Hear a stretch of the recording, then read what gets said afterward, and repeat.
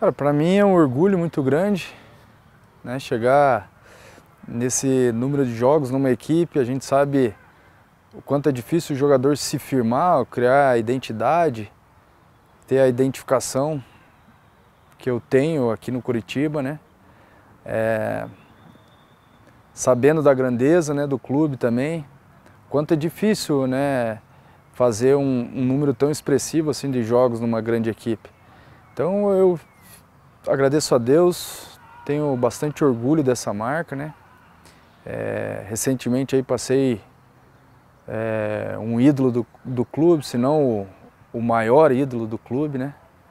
Então para mim é uma marca bastante expressiva, com certeza vai ficar cravado né, na, minha, na minha memória, né? E que eu possa aumentar esse número de jogos, né?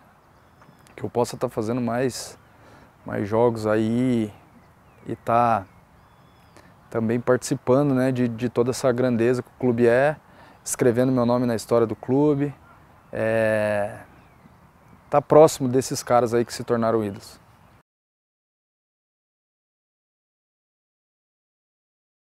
É gratificante também, né, porque a gente sabe o cuidado que a gente tem que ter com as crianças, né, e o quanto também talvez influencie né, na, no crescimento deles, no pensamento deles. Também me é, da importância talvez que a gente tem é, por estar tanto tempo num clube, ser a referência às vezes para algum deles, né?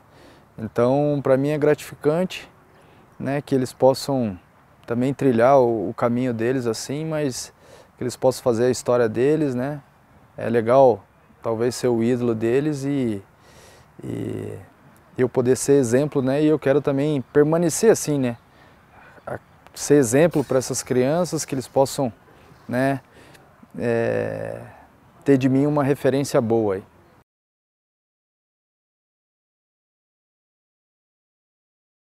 Eu acho que o clássico ele faz parte de, de todo atleta, né?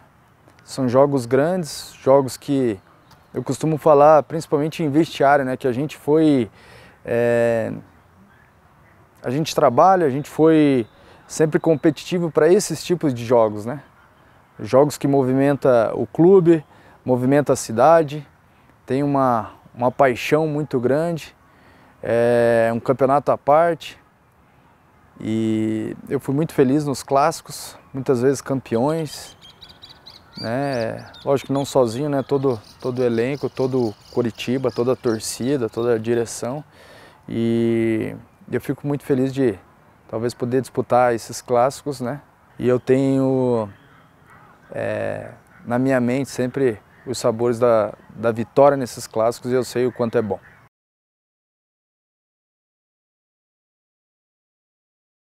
Nesse momento a gente a gente está passando por um tempo meio turbulento, e eu acho que não poderia ser diferente de ter o nosso torcedor ao nosso lado num jogo tão importante é, para nós, né?